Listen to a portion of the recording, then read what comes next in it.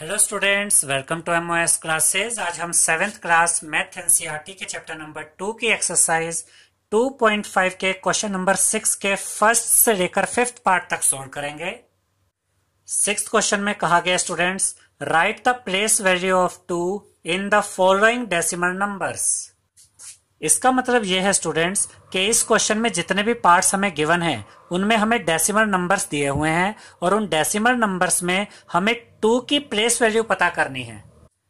सबसे पहले हम फ़र्स्ट पार्ट देखेंगे। फ़र्स्ट पार्ट में हमें दिया गया है 2.56 अब देखिए ये टू कहाँ पर है? डेसिमल के लेफ़्ट में। और डेसिमल के लेफ़्ट में ये पहली डिजिट है टू तो डेसिमल के लेफ़्ट में जो पहली डिजिट होती है स्टूडेंट्स इसकी प्लेस वैल्यू होती है वंस तो टू की प्लेस वैल्यू क्या होगी? वंस अब हम सेकंड पार्ट देखते हैं। सेकंड पार्ट में हमें दिया गया है 21.37 तो सबसे पहले हम चेक करेंगे कि ये जो टू है, ये कहाँ पर है? देखिए स्टूडेंट्स डेसिमल के लेफ़्ट में जो पहली डिजिट है, वो है वन और दूसरे नंबर पे जो डिजिट है, वो है टू तो डेसिमल के लेफ़्ट में जो पहली डिजिट होती है, इसकी प्लेस वैल्यू होती है वंस और जो दूसरे नंबर पे डिजिट होती है लेफ़्ट में, इसकी प्लेस वैल्यू होती है टेंस तो यहाँ पर टू की प्लेस वैल्यू क्या होगी? टेंस अब हम थर्ड पार्ट देखते हैं। थर्ड पार्ट में हमें दिया गया है 10.25 तो सबसे पहले हम चेक करेंगे कि यहाँ पर टू किस साइड में है। देखिए डेसिमल के राइट में है। और डेसिमल के राइट में जो पहली डिजिट है, वो टू ही है।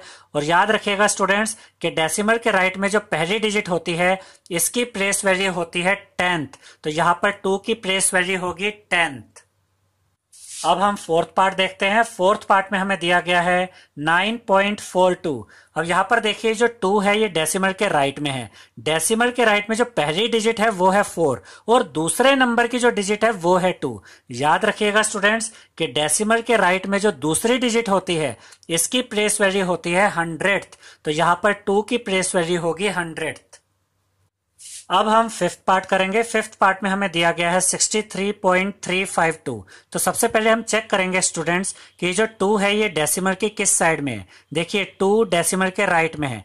डेसिमल के राइट में पहली डिजिट है थ्री दूसरे नंबर पे डिजिट है फाइव और तीसरे नंबर पे डिजिट है टू याद रखिएगा स्टूडेंट्स कि डेसिमल के राइट में जो तीसरे नंबर की डिजिट होती है, इसकी प्लेस वैल्यू होती है थाउज़ेंड तो यहाँ पर टू की प्लेस वैल्यू होगी थाउज़ेंड आई होप स्टूडेंट्स आपको हमारा ये वीडियो पसंद आया होगा।